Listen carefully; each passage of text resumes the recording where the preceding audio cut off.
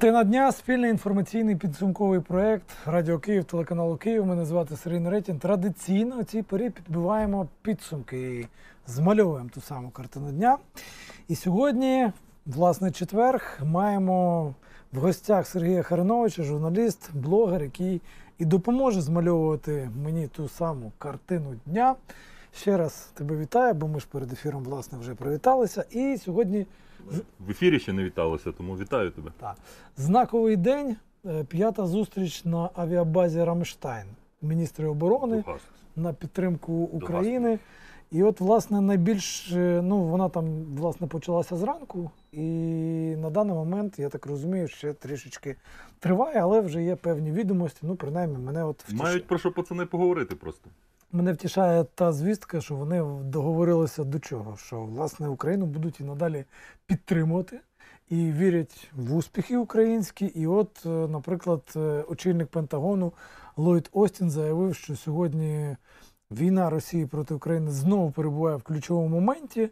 Ось, але от союзницька підтримка нашої держави дає свої плоди на полі боя. Тобто я зробив такий висновок, що втоми ніякої немає від війни Росії в Україні мається на увазі, що нас готові підтримувати і надалі, і до переможного завершення цієї війни. І це, от, як на мене, це такий міні-позитив з цієї зустрічі, а вже там деталі вже будуть відомі трошки згодом. Та й сьогодні можемо поговорити. В тому від війни, в тому від України, то виключно кацапські наративи. Ну, тобто, от. е, Ну, деякі лякаються в Україні, коли чують, що там Німеччина, наприклад, перестала нам поставляти зброю. Та, зібралися три мітинга десь там в Німеччині і в Чехії. Зібралися мітинги і ніби виступають е, проти от того, щоб ці країни підтримували Україну. А потім, коли ти починаєш ну, вникати, то виявляється, що ну, мітинги були по, ну, по, по іншій темі, а там Україна десь там якимось десятим пунктом була.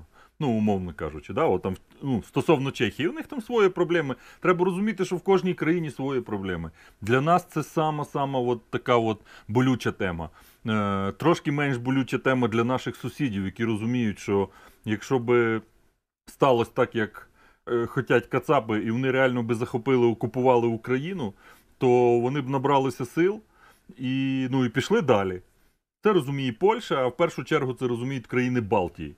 Тому що вони зовсім маленькі країни, ну, територіально і по населенню. От їм взагалі е, важко. От уя- уяви ж е, ситуацію, їх, їх врятувало членство в НАТО. Уяви ситуацію, що російська армія пішла на, ну, там, на якусь окремо взяту Естонію. Ну, півтора мільйона Варіантів мешканців. нема. Півтора мільйона мешканців. Так. Варіантів нема. Просто взагалі ніяких нема. Вони мають дякувати своїм політикам постперестроїчної ери, які це чітко розуміли і зробили все, щоб країна вступила в НАТО. Нас рятує те, що ми величезна країна. Просто величезна. Величезна по території, яку треба долати, і величезна по людському ресурсу. У нас є кому йти у військо, воювати. А, а все інше це от реально допомога західних країн. Практично ми зараз, напевно, крім АКМів, свого нічого не маємо. Ну, по великому рахунку.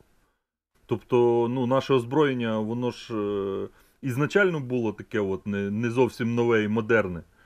І за цей час війни воно просто свій е, от термін придатності просто в нього вийшов. Вона вже зносилася, там, якщо говорити про артилерію. Всяка гармата, всяка там гаубиця, вона має.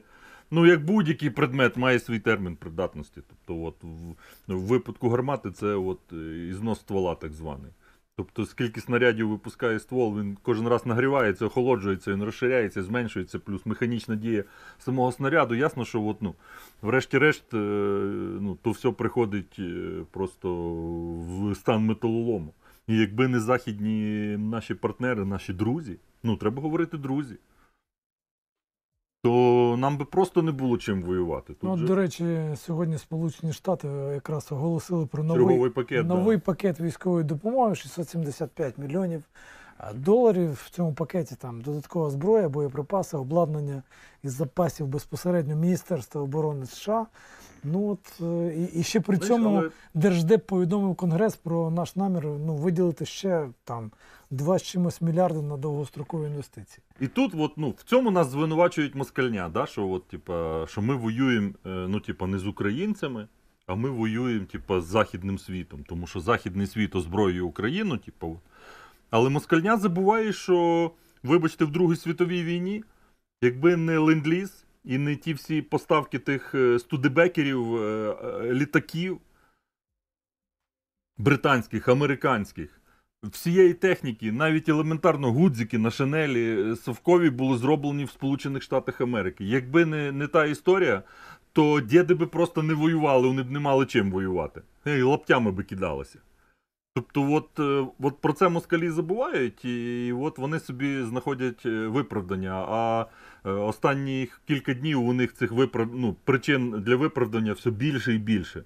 Тому що українські військові ну, дають їм перекурити по повній програмі по там, ну, багатьох напрямках. І, і там в русскому тому сегменті інтернету стоїть такий просто от палання пердаків таке, що можна там реально підключити до них якісь там газогенератори і обігрівати європейську часть Росії. Ну, вже навіть офіційне повідомлення про те, що на Харківщині на 50 кілометрів відсунули ворога у- углиб, так би мовити, і повернули 20 населених пунктів.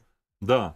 Бачиш, яка е, ми, ми про це ми часто говоримо е, ну, на наших ефірах про таку важливу складову, як е, ну, ми жартома її називаємо Гебельсівщина, про пропаганду. Ми говоримо про пропаганду, і зовсім недавно ми говорили про власне боротьбу за, ну, за уми населення. І от я коли читав оці повідомлення з Харківщини, там же постійно фігурували частини з так званої ЛДНР. І по суті своїй це ж наші люди. Ну, фактично, це громадяни Колишні. України. Ну, Ну, фактично, що, так. що я, значить я, колишні? Я погоджуюсь. Не, Фактично, не да. колишні, вони не виїхали нікуди, їх окупували. Ну і е, наскільки, е, ну, дома і зрадники, наскільки просто м, ну, людина в окупації, виходить, безправна. Тобто тебе заганяють в чужу армію і, і, і женуть там ну, на своїх співгромадян. Мудрі, звісно, зразу руки вверх і піднялися, кілька місяців тому показували якогось там е, мужичка такого предпенсійного віку. Він каже: ну, мене забрали, дали автомат, поставили на якийсь блокпост. Я тільки українців побачив автомат кинув і зразу здався. Ну, це- так би. Якщо є час, якщо є можливість здати. Так, якщо є час Так. і можливість. От про що, от, знаєш, черговий раз повертаємося от до, до пропаганди. Наскільки ми от не, недооцінювали, ні одна українська влада недооцінювала пропаганду. От, е, і е, коли ура патріоти накидаються там, ну, на. Пам'ятаєш, була така історія, коли Арестович сказав, що якщо б Росія нас окупувала, і маючи от людський ресурс України, він там просто ви, ну, виразився некоректно, типа, і вкупі з ЗСУ руська армія би пішла на Європу. Ні, мова не про то. Просто якби вони нас реально окупували, от уявити самий поганий варіант. Нам не дали зброї, як 100 років тому, за часів там от, е, УНР. Нас не підтримали, нам не дали зброї. Руська Орда нас захопила. І вони мобілізують українців свою армію, як отих е- безправних з Луганська і Донецька. Ну і ми, типа, як за часів Радянського Союзу в Афганістані, ми йдемо в армію служити і воювати там. Ну, от, наші молоді українці йдуть воювати в русській армії. На Арестовича тоді накинулись. А то, в принципі, ну, то, що він е, каліка не може е, два слова нормально ну, висловити свою думку так, щоб до людей дійшло, то інша проблема. Але от, ну, оця проблема є, і ця проблема, я ж кажу, в боротьбі за уми. Ну, тому що бандерівці до 56-го року в схронах сиділи, попри от, ну, безперспективність е, цієї війни. І от ні одного з тих чуваків ідейних ти не заженеш там в радянську армію. Да? А, а всі інші люди там ну, служили ну, в радянській армії. І коли на Арестовича накинулись, ви зря на нього накинулись. Я не люблю цього персонажа. Але в даному випадку, от приклад Луганської Донецької області показує, що при окупації населення за кілька років от обаланюють, а, а потім в, в плані там призову армію їх ніхто не питає просто. За шкірку вдягнули автомат, дали і погнали. І все. І от, от якби ще раз і ще раз наголошуємо на тому, що пропаганда це важливо. Власне, хотілося б продовжити тему українського протистояння. Ну, Власне, у нас зараз практично кожна програма винятково про цю тему. Хотілося б колись знову поговорити про автомобілі, але маємо Бачиш, е, інші теми. в, е, е, в цьому плані дуже цікаво звернути погляд на нашу владу. Е, Мені вже, от, ну, чесно кажучи, от, трохи, трошки вже тяжко стримуватись, знаєш, той мораторій дотримувати І не просто. тільки тобі. Так, уже от реально, е, ну, мені здається, що цим мораторієм на критику влади наша влада прикрилася як тим, е, якоюсь там бронековдрою, і під тою ковдрою робить, що хоче. Коли реально вся, вся країна ну, думає про війну, що ми бачимо? Ми знову бачимо е, е, дороги в Бучі, наприклад. Да? Ну, давайте от, ну, знову повертаємося і виділяємо гроші на дороги. Ну, це вже, це вже переходить якісь межі розумного. Там е, в газеті Дзеркало тижня Юрій Ніколов, це той, що робить е, проект Наші гроші, такий дуже відомий проект. Вони постійно досліджують тендери там влади, причому роблять це вже дуже багато років. І він, власне, дослідив про те, що там був зареєстрований законопроект, згідно з яким виділялося, я там не пам'ятаю точних цифр, але майже мільярд е, гривень. От недавно буквально Знову на і- і- якраз на дороги, але на ті дороги, які мусять, ну які понівечені в результаті війни. У підсумку за його е, спостереженнями, він про це пише в виданні дзеркало тижня. Гроші пішли, але на дороги зовсім не в тих областях, де була війна. Пішли кому надо. Ну він так і говорить насправді. І то реально починає вибішувати. Знаєш, складається, у мене складається таке враження, що у нас є окремо країна, яка воює. Тобто всі люди так чи інакше, там, ну більшість принаймні свідомих людей підключилось до волонтерства. Хтось, ну, реальний волонтер, хтось просто от, е, підтримує цей рух грошами. Є Збройні сили, які от зв'язці з людьми і волонтерами воюють, перемагають. І окремо є влада. Влада живе собі абсолютно своїм життям. Тобто вони катаються в Європу, у них там всі ці аусвайси такі от льготні. Вони катаються в Європу, вони рішають якісь свої проблеми. У них якісь там окремі законопроекти, там не транслювати засідання Верховної Ради. От це дуже актуально на знаєш, для воюючої країни на сьогоднішній день. Це от треба було зібратися в Верховній Раді, потратити купу е, часу, ресурсу, от прийняти такий закон, виділити бабки на дороги. І в той же момент просити теплі речі у, у наших партнерів. Теплі речі для Збройних сил. Бо виявилося, що у нас теплих речей нема. Я пам'ятаю от ту історію до 19-го року, коли е, от, е, сталося от, е, перехід на нову форму, і у нас з'явилось ну, от, дуже багато от цієї військової форми. От в цій військовій формі там ну, ходили всі, від, від там якихось е, військових запасу до студентів військових кафедр. Тобто вистачало взагалі на всіх. Зараз взагалі форми нема. Я би, ну, я б не говорив, якби от не спілкувався з живими людьми, які воюють зараз в американській бушній формі. Медведчук все купив. Все, все Пам'ятаєш його в піксельній формі? Да, да, да, от, от Да. куди пішла форма. Да. Всі І, хлопці і, і не тільки Медведчук, це ми зараз вже призабули оці там перші місяці, коли ти бачив там. Ну я не буду говорити, ну дуже багато людей, які в принципі у підсумку нікуди далі Києва не поїхали, але так бадьоро там з автоматами. Да, У формі при параді, і тут ти бачиш, що напередку людям форми не вистачає, які реально воюють там. От, які там зібралися, якісь там мисливську форму кого одягли і так далі. Ну, люди А, а тут при повному параді, в туфлях і так далі, всі ці колишні там Литвин, Луцький. Я там ще там один з міністрів теж красувався там. Хто тільки не відмітився в пікселі? Ну, реально, знаєш, у і нас, Медведчук. у нас у нас країна, ну, ми, ми воююча країна, понятно, у нас тяжко з економікою, але пошити форму країна може. Ну, мені так здається.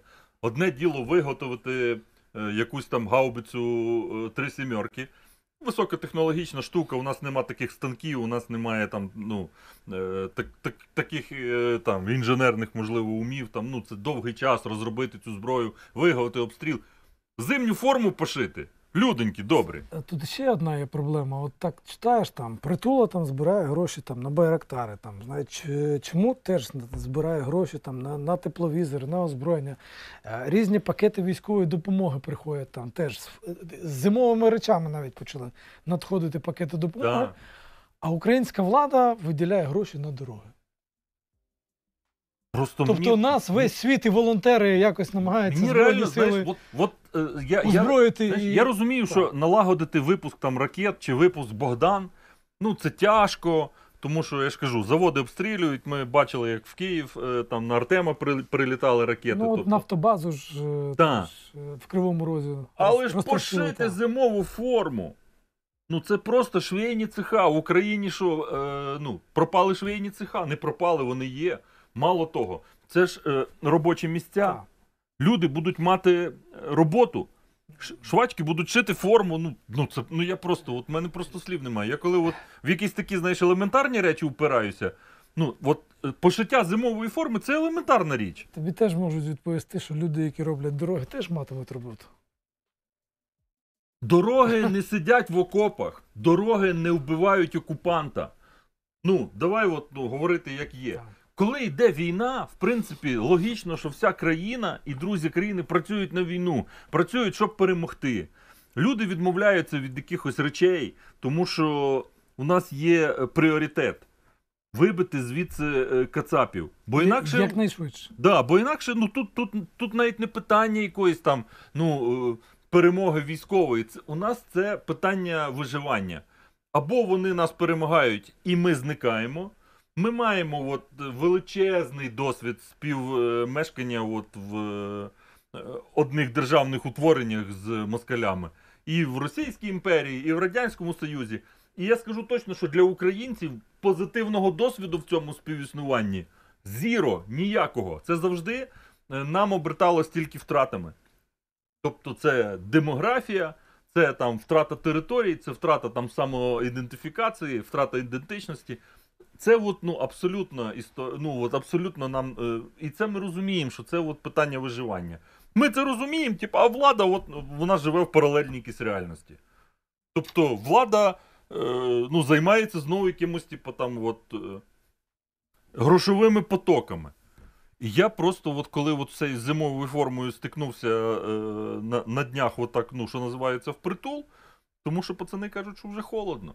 Там уже холодно, там вже зранку заморозки, там виходиш уже от, е, з бліндажика в окопчик, і вже холодно зранку. Тобто вже треба кальсончики, вибачте, вдягнути і теплу курточку. А це ще тільки вересень місяць. Тільки початок. Тільки початок. Зимових а- холодів, а да. ближче до зими, а в тому треба воювати. А виявилося, що зимової форми нема. Влада офіційно просить е, партнерів допомогти.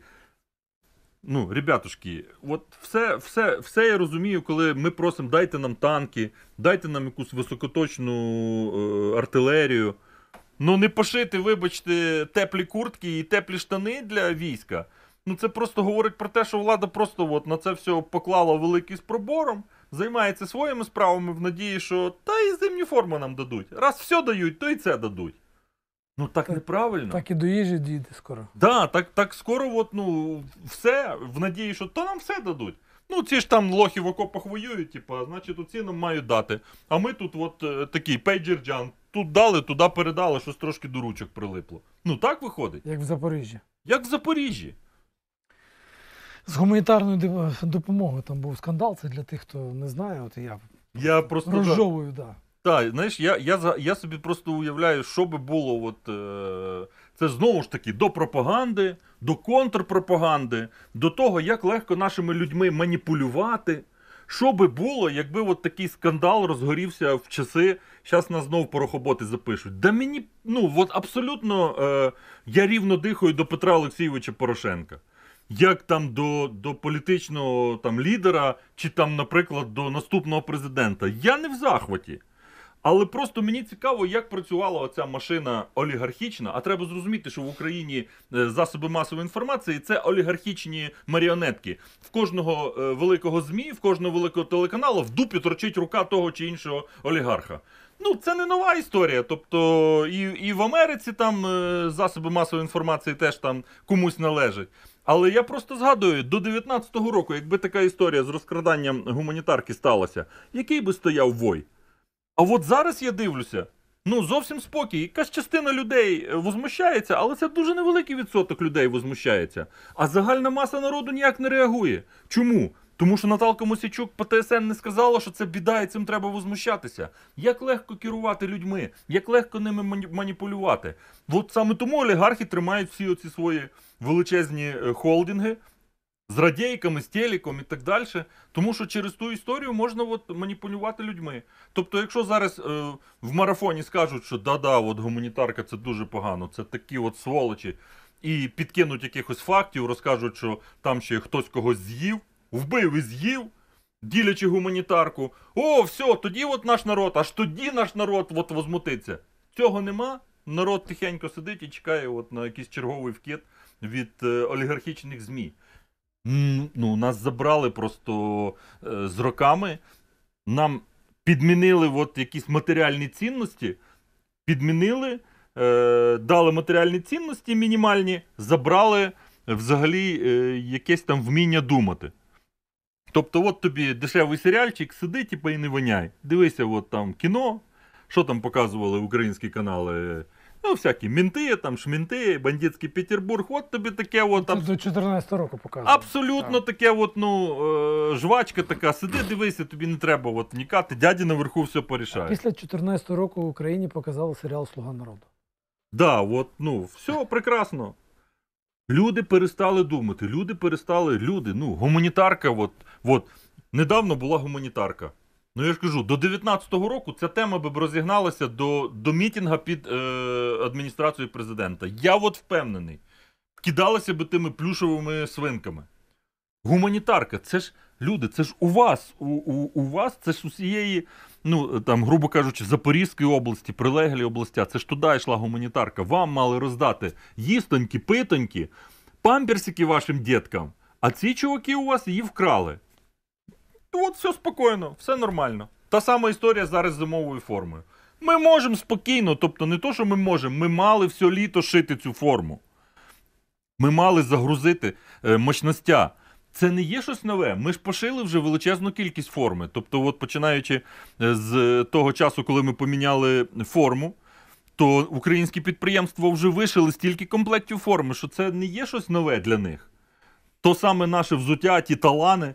Всі військові в захваті. Після кірзачів е, зразка СССР і після того дубка, який горів, коли його підпалити, то все було от супер. Я дивлюсь навіть на наших військових зараз, оці кадри, коли там е, в Харкові е, беруть е, в полон там росіян. Наскільки наші військові вигідно відрізняються від е, Кацап'я? Як було трошки, знаєш, мені так обідно, коли е, Кацапи в Крим зайшли. Це теж психологічна війна. Знаєш, вони зайшли в Крим виключно. У них таких частин було небагато, які були в новій формі, в цих шльомах з окулярами тактичними, в перчатках тактичних з цими АКМами е, тюнінгованими. На цих у них там було три тих е, джипа нових, і вони їх все туди поклали.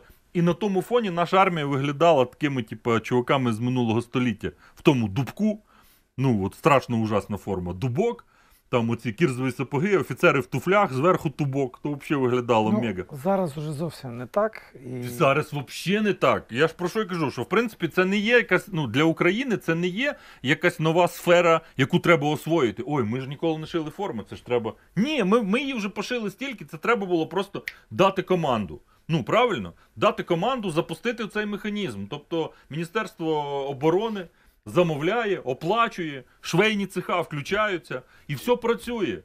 Швеї шиють, получають зарплату, армія получає форму. Уже на таких елементарних речах вже просити в західних партнерів, а ви нам ще не могли б зимню форму дати? Ні, ну вони, звісно, дадуть. Звісно, дадуть. Але ну, якась частина цієї допомоги безкоштовна. Ну, як там е, в новинах кажуть, Норвегія дарує Україні там зброю і якесь спорядження. Дарує. Але таких новин небагато. Всі інші передають. Це значить, що колись нам все одно треба буде е, ці борги віддавати. Продовжуючи тему, про яку ми сьогодні говоримо, от ми почали з того, що Збройні сили України там на 50 кілометрів просунулися вглиб окупованих територій, і я сподіваюся, що вже там з тих рубежів не відійдуть. Е, Збройні сили України отримують дані про дислокацію російських військ саме завдяки українським патріотам на тимчасово окупованих територіях, і це дозволяє ефективно знищувати ворога. От журналісти поцікавилися якраз у заступника начальника головного оперативного управління Генштабу Олексія Громова. Як же так, що от в рази збільшилося ну там втрати ворог? Та? І він сказав, що а, тобто раніше фігурувала цифра 150-200 знищених вояк на день, а зараз 500, 600, і ми вже на цьому тижні перетнули позначку в 50 тисяч е, знищених окупантів. І от, власне, з чим це пов'язано? І журналістка, яка поцікавилася у Громова, отримала таку відповідь, що, власне, ну таку загадкову, вона, вона так запитала, з чим це пов'язано? Покращилась, може, система обліку чи якісь інші причини?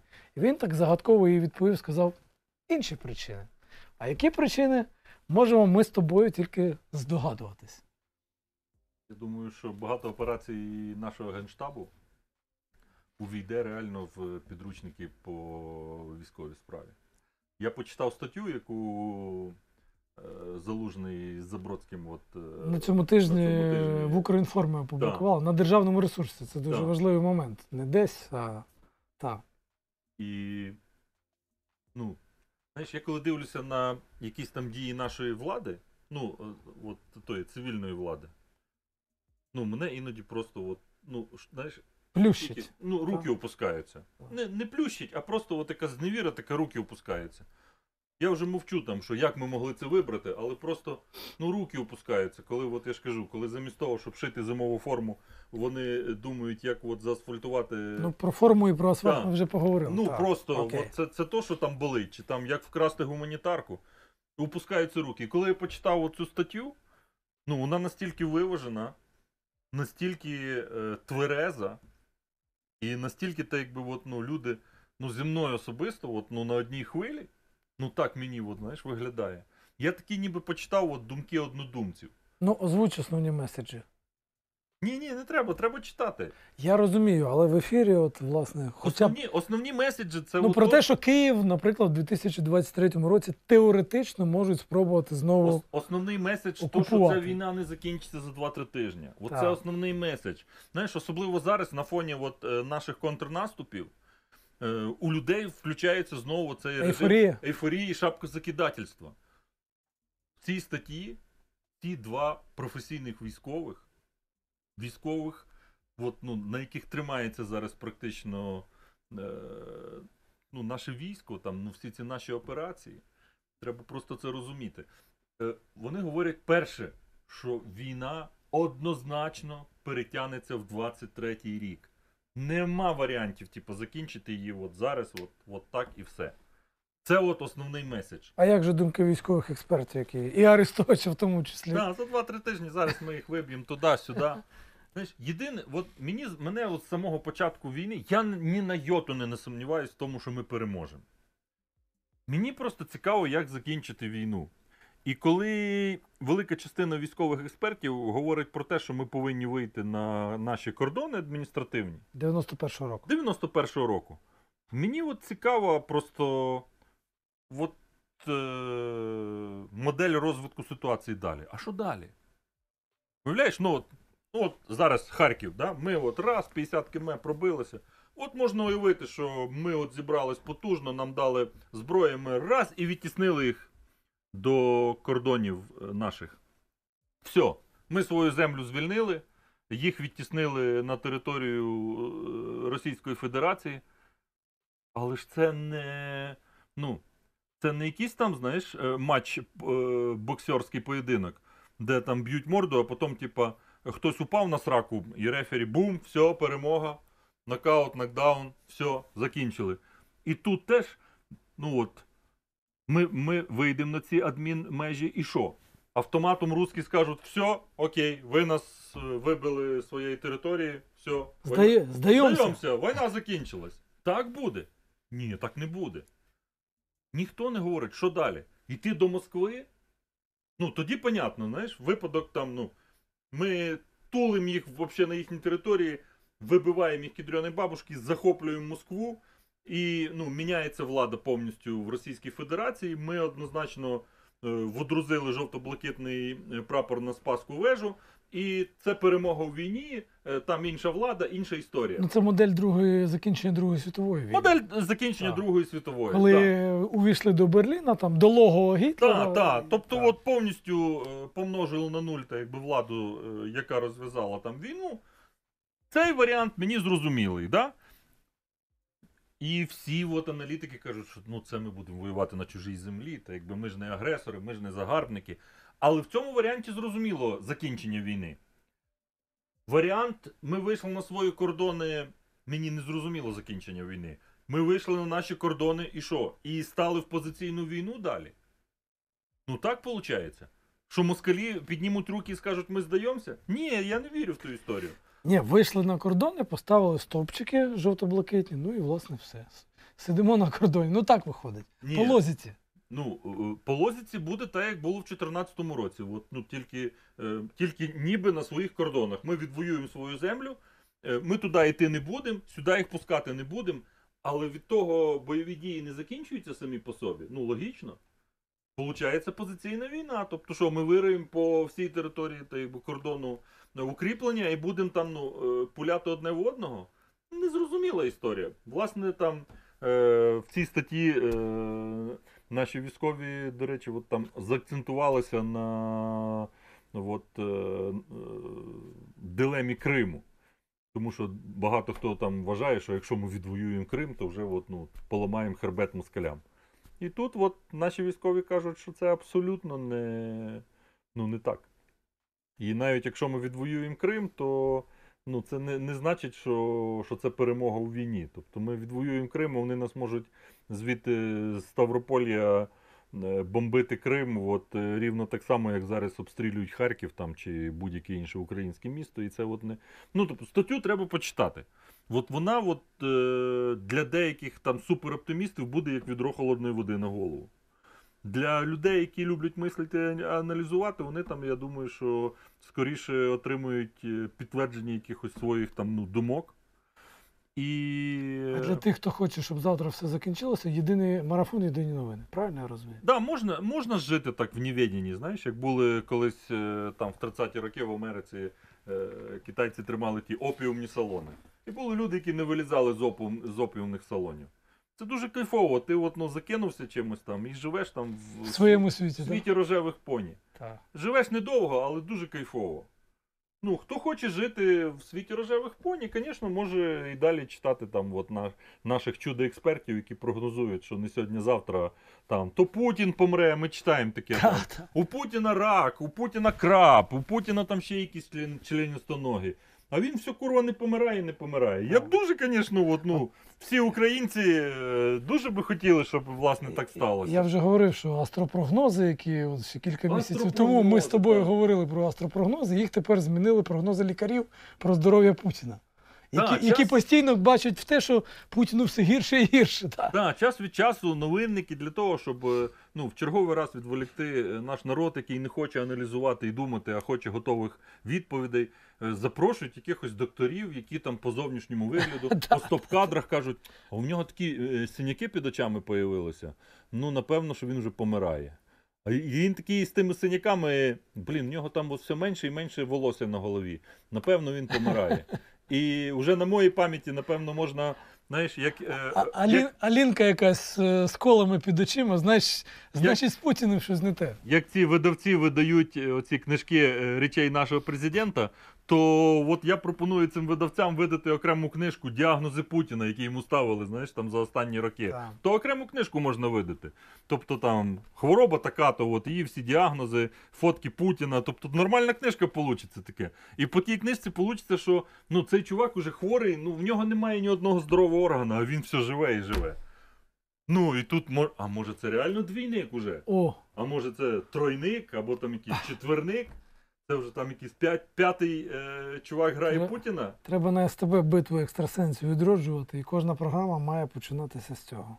Тільки, тільки Так. цього. Вони мають насилати прокляття, якісь там чорні міси служити. Ну, Щоб, правильно, щоб да. нам, нам, нам все потрібно, нам всі сили потрібні. Колишній міністр культури Бородянський свого часу, він же ж, е, коли йому дорікали, що він на СТБ цю програму випускав в ефір Битва екстрасенсів, казав: ну так а що, ну, ну практично просвітницька програма, багато користі приносить. Так. Чом би й ні? Після чумаків і Кашпіровських, то от, ну, абсолютно дитячі забавки. Просто дитячі забавки. Так. Але от якщо. Ну, треба, треба читати. Так. От, ну, я дуже... Мене ця стаття якоюсь мірою заспокоїла. Я зрозумів, що військами керують абсолютно тверезі, абсолютно тверезі, які, люди, які дружать з реальністю. І, ну, і події там останніх днів показують, що так і є. На відміну від е, тих е, русських генералів, то ну, реально мене тішить, що, що наші м, там високі чини в війську, вони бережуть солдатів. Знаєш, трошки інший метод ведення війни. Нема того, то, що називається в війні гарматного м'яса. Тобто, наші, ми, ми розуміємо, що будь-який наступ це завжди втрати. Ми розуміємо, що ми, ми, ми понесли величезні втрати. Ми після війни посивіємо в один момент, коли нам оголошують е, кількість наших загиблих військових. Але ну, війна вона така, і по-іншому не буває. І все одно е, ми бачимо, що наші сили ведуть е, більш ну, якісь такі розумні маневри. Не йдуть просто ей, ура, в атаку, да, от як командир з пістолетом, да, от і там Друга світова, Так. Червона армія. Командир достав пістолет, і всі на німецькі пулемети Ну, пішли в атаку. Сьогоднішня, наприклад, подія заслуговує окремої уваги. Це подія про те, що країни Балтії і Польща з 19 версі- е, вересня запроваджують жорсткі обмеження на в'їзд для громадян Росії шенгенськими туристичними візами. І причому незалежно в якій країні вони видані. Я думав, ти про бабцю Єлизавету зараз скажеш, бо так Ні. на- на- налякали, налякали нас. Да, ті- трішки сьогодні налякали, що Так. начебто вона померла, але е, ра- рано хоронять. Так. Так. Трошки пізніше, я думаю, що все ж таки це відбудеться. Хоча стан здоров'я в неї там справді там Ні, ну це будемо 96 років. будемо говорити Так. так і так, да, 96 років. Ну, дай Боже їй е, здоров'я, що називається. Тому що Британія у нас з Америкою зараз, напевно, от, ну, найголовніші такі от західні партнери, які нас підтримують. Але от, наших друзів Польщі і країн Балтії. але от про заборону шенгенських туристичних віз для, для кацапів, починаючи з 19 вересня, я думаю, що треба поговорити. Причому, от, я ж кажу, це роблять країни Балтії і Польща. В принципі, зважаючи на те, що літачки до Москви практично не літають, я думаю, що російські туристи будуть, будуть змушені там на свої байкали їздити ще кудись там. І Тут так далі. е, мене от в цій ситуації не так цікавлять російські туристи, які їдуть е, там на кілька днів в Європу, як ота величезна маса, отой масив емігрантів з Росії, які осіли в Європі. Росіяни масово виїжджали з своєї країни і створили таку цілу ну, мережу оцих е, субкультур руського міра по всьому світу. Їх величезну кількість приймали Сполучені Штати. Їх величезна кількість осіла в країнах Європи. І ну, ніхто з цих е, країн, ну, мені здається, от, виглядає так, що до сих пір не зрозумів, ну, яку вони собі е, підсадили гангрену в свій е, державницький організм, в е, свою громаду. Тому що ці люди невиправні. Ну, тобто, нічого, нічого не можеш от з ними зробити. Вони живуть там роками десь там в Америці, і все одно от ненавидять е, всю ту е, дійсність, в якій вони живуть. Люблять Росіюшку і Путіна там і намагаються от створити такий е, міні от той е, бардак е, в кожному, от, в кожній країні, де вони живуть. І західні демократії того не розуміють. Для них от якось. Ну, я не розумію. Знаєш, мені, от, мені не зрозуміло, і полякам не зрозуміло, і от там латишам, литовцям, естонцям теж не зрозуміло, тому що е, ми з ними стикаємося, і ми знаємо, хто це такі, і ми знаємо, що це невиправна історія. Що, от знаєш, навіть подивитися на то, як е, наші військові знімають позиції росіян відвойовані. Я ще не бачив ні одної е, нормальної позиції. Всюду срач, всюду от бардак, срач, і це от вся Росія. Це вся от Росіюшка. Вони привели в порядок свої там е, ключові мегаполіси, щоб коли там приїжджає якийсь до них е, там кіль Лобода, щоб він вийшов в Москві, о, Москва Сіті, о, нічні клуби. То тут цивілізація. Чувак, ти поїдь туди, в, та, Сизрань. в Сизрань, в, туди, в, в- під Казань, десь там по- походи, десь там під Ростовом, під Рязанью. От там подивись, як там живуть е, в тих реально в райцентрах і посілках. Вони зробили красиву картинку в Москві, у Санкт-Петербургі, щоб коли там цивілізована людина приїжджала, здавалося, що ну я приїхав в цивілізацію. А це взагалі не так. І це величезна біда. Вони напхалися, от, е, ті росіяни, получили громадянство, е, получили документи, і вони впливають, е, врешті-решт, вони впливають на життя в цих країнах. От ті самі мітинги в Берліні там показали, яка кількість оцих фактично антидержавницьких елементів. Люди, які не люблять Німеччину, люди, які от вважають німців, що вони їм должны, вони їх перемогли і так далі. Разом з тим вони живуть в Німеччині, користуються там німецьким соціалом, ненавидять ту всю гейропу і виходять махати триколорами в центрі Берліна. Да, так це працює. Європейські демократії, там та сама навіть Америка, вони не розуміють е, ну, суті цієї. А, а ми, там поляки, е, особливо країни Балтії, чітко розуміють, тому вони роблять такі, ну фактично, різкі кроки. Вони розуміють, що цих, цих людей не треба випускати з їхнього свинарника. Вони там мають собі жити і, і кайфувати. Скільки ми бачимо цих відосів з упоротими, абсолютно упоротими е, москалями, там, десь там, реально от в, в тих е, країнах Балтії. Просто ужас. Вони живуть там, отримали там литовські паспорти, грубо кажучи. Вони там в себе як вдома. Я дуже часто був в Естонії, і там постійно там російська річ слышна отовсюду. Да, їх там там естонську рідко можна Так, зустріти. їх там багато. Ну тому що вони там в тих е, великих містах вони осіли. Це ж була політика така, от, ну, власне, переселення. То не є, знаєш, е, ну, щось таке там унікальне. Можна подивитися, що русські роблять в Криму. Після окупації Крима вони туди нагнали переселенців. Вот эти, ой, як хорошо, знаєш, тут так уютно, як дома. Це ж не просто так. Це політика. Вони туди напихають своїх людей. Вони таким чином міняють демографію, міняють політичні е, ну, якісь настрої там, е, населення. І таким самим чином відбувається і в Європі, і в Штатах. Вони туди напирають е, от оцього руського бидла, і ті там починають е, качати ситуацію. Фактично, пускаючи до себе е, росіян, ти маєш розуміти, на який ризик ти йдеш. Що ти пускаєш до себе чужих людей. Ну, чужих, абсолютно цивілізаційно чужих. Але, от, ну, на жаль, а- англосакси того не розуміють. Ну, там, не розуміли. Хочеться вірити, що може зараз зрозуміють. Ніхто не перевіряє цих потенційних іммігрантів на лояльність. Ніхто не перевіряє. Хоча от це безпека країни, їх треба перевіряти на лояльність. Якщо ти хочеш поїхати в Америку, ти повинен е, ну, мислити як американець, ти повинен любити вільний західний світ. А якщо ти е, їдеш в Америку тільки тому, що там зарплата вища і продукти дешевші, ну то такого емігранта не треба пускати до себе. Ну я так думаю.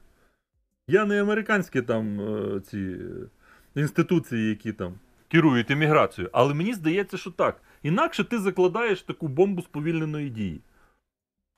Тому що ці люди об'єднуються в якісь там общини і, і ведуть ну, практично е, діяльність проти тебе. Воно тобі треба? Ну, це ненормальна історія. Погоджуюсь на всі 100%. Давай завершимо на якійсь позитивній дуже ноті. От Пентагон, наприклад, надіслав Україні свої найточніші артилерійські снаряди X-Alibur із GPS-наведенням, про що раніше, в принципі, навіть не оголошувалось. Ну, позитивна ж новина. Так, він там реально з відстані там більше 50 кілометрів стріляє і там кілька метрів е, вправо чи вліво відхиляється. Тобто це супер високоточна зброя. Це дасть нам можливість нищити їхні склади от точечно. Тут ми- найцікавіше, що от про це повідомляє агентство Bloomberg з посиланням на бюджетні документи, які опинилися в його розпорядженні. Тобто тут у нас ніде цього всього не оголошувалось, але от уже оскільки я ж я ж не відкриваю ніяку військову таємницю, про це Ну, українська це правда написала. відкриває. Не... Да, про це вже українська правда написала, тому от, власне, ну я просто радію з того, що у нас є те, про що ми не знали, наприклад, до сьогоднішнього дня. І це, це позитив. Це позитив. Чим більше зброї в Україні, тим більше позитив. І врешті-решт ми все одно переможемо. Питання якою ціною. Да, це складне питання. На цьому ставимо крапку. Такою сьогодні була програма Картина дня. Мене звати Сергій Неретін. Поруч зі мною був Сергій Херенович. Всім ще раз вкотре дякую. Залишайтеся разом з нами подумки. І слава Україні! Ми переможемо тут без варіантів.